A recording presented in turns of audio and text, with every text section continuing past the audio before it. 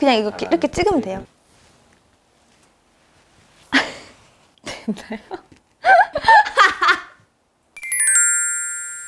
안녕하세요. 저는 22살 인다영입니다. 아직 특별한 작품은 없지만 연기 생활을 꾸준히 해나갈 비타민 같은 배우 인다영입니다. 어, 일단 색상이 너무 예뻐요. 색깔 자체도 너무 예쁘게 나왔고 그리고 엄청 가벼워요. 엄청 얇게 나왔어요. 한 손으로 잡기에도 부담스럽지 않고 색깔도 너무 예쁘게 나와서 되게 예쁜데요? 혼자 놀기에도 좋고 친구랑 같이 놀기에도 좋은 기능들이 많이 들어있습니다. 일단 첫 번째는 가상으로 메이크업 해보기인데요. 일단 카 메라에 들어가시면 위쪽에 빅스비 비전이라고 써져 있어요. 그거를 누르시면 메이크업이라고 뜨거든요. 헤어, 술, 볼터치 여러 가지 기능들이 많이 들어있는데 제가 지금 해볼게요.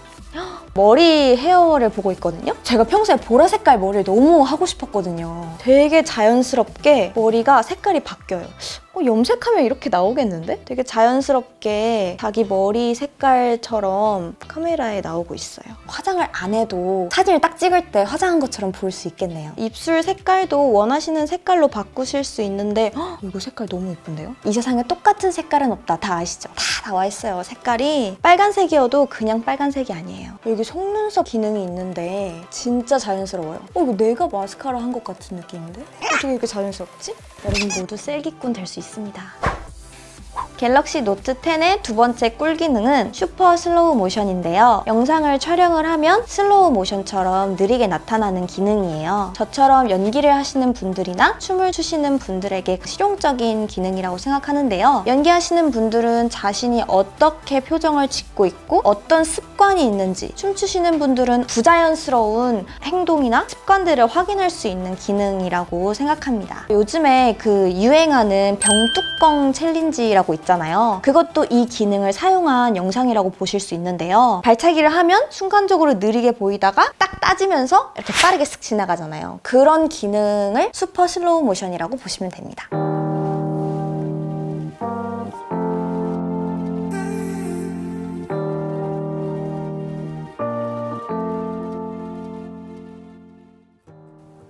갤럭시 노트 10 세 번째 꿀기능 AR 이모지 카메라에 들어가시면 위쪽에 AR 이모지라고 써져 있습니다. my 이모지 만들기라는 게 있어요. 카메라에 이렇게 센서가 나오거든요. 얼굴을 이렇게 비춰주시고 촬영을 하시면 나와 비슷한 캐릭터가 만들어지는 거예요. 성별을 선택을 해주시고 다음을 딱 누르시면 my 이모지가 만들어집니다. 그럼 진짜 진짜 귀여운 캐릭터가 나와요. 자기랑 얼굴이 비슷하게 생긴 캐릭터가 나오는데 이렇게 만들어진 이 캐릭터는 자신이 표정을 어떻게 하느냐에 따라서 같이 표정이 똑같이 바뀌어요. 이름을 정할 수 있고요. 얼굴 특징을 설정할 수도 있고 옷을 입힐 수도 있고 액세서리를 착용하실 수 있으세요. 이 기능이 제가 봤을 때 혼자 놀기 가장 가장 재미있는 그런 기능인 것 같아요. 저의 표정을 또 따라하잖아요. 그게 얼마나 재밌어. 프사도 할 수도 있고 자기 셀카인 것 같은데 귀여운 캐릭터로 나오니까 사진 올리기에도 부담스럽지 않고 재밌는 기능인 것 같아요.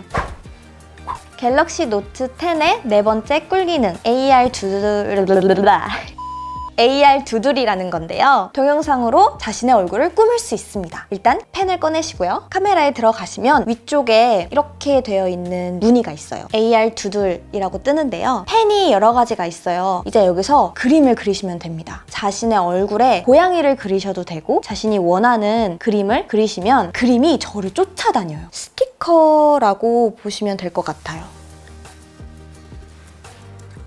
현실에 가상을 입히는 그런 기능이라고 하는데요. 이 공간을 그림을 그림으로써 같이 섞일 수 있는 그런 기능이라고 합니다. 이게 장점이 뭐냐면 다른 어플들은 정해져 있잖아요. 스티커가. 이거는 자신이 원하는 그림을 그려서 그거를 스티커처럼 사용할 수 있으니까 그 점이 참 좋은 것 같아요. 갤럭시 노트 10 다섯 번째 꿀 기능은 S펜 셀카 찍기인데요. S펜으로 사진을 찍을 수 있답니다. 보통 이렇게 손으로 터치를 해서 카메라에 들어가시잖아요. 음, 이건 그렇지 않아요. 버튼을 길게 누르시면 카메라에 들어가집니다. 이거를 길게 눌렀는데 카메라에 들어가져요. 여기서 놀라시면 안 돼요. 셀카를 찍고 싶다. 이거를 두 번 클릭합니다. 그러면 화면이 전환이 돼요. 셀카 모드를 찍으실 수 있어요. 셀카봉으로 셀카를 찍거나 손이 닿을 수 없는 거리에서 사진을 찍을 때 유용한 기능인데요. 바스트로 찍고 싶은데 보통 이렇게 타이머 누르고 막 타이머 누르고 막 재빨리 오고 막 이러잖아요. 그럴 필요가 없다는 말씀입니다. 이거를 거치대에 대시고 포즈를 취합니다. 카메라 화면에 안 보이는데 이렇게 놓고 이렇게 찍으시면 돼요. 이게 얼마나 유용한 기능입니까? 되게 여러 명에서 찍는데 이렇게 막 이렇게 손으로 뻗어가지고 이렇게 찍어야 되잖아요. 그러실 필요가 없어요. 딱 뒤에 숨겨놓고 포즈 딱 취하고 숨겨놓고 찍어도 찍혀요. 인식이 다 멀리 있어도 됩니다. 동영상을 찍고 싶다. 이걸 누르신 상태에서 이렇게 왼쪽으로 가면 동영상으로 싹 바뀝니다. 동영상뿐만 아니라 다른 기능을 원하시면 버튼을 누르면서 그쪽으로 이렇게 넘기시면 돼요. 똑같이 버튼을 누르고 내려주시면 전면 후면이 이렇게 바뀔 수 있어요. 이 S펜 하나로 가능합니다. 그렇게 인식을 하지? 이게 진짜 너무 신기해요. 이게 어떻게 옆으로 되지? 이렇게? 리모컨이에요, 리모컨. 시대가 좋아졌어. 진짜 너무 신기한 것 같아요. 디자인도 그렇고 성능도 그렇고 진짜 대박인 것 같아요. 솔직히 아이폰을 쓰고 있지만 이 촬영을 하면서 혹해지고 있어요.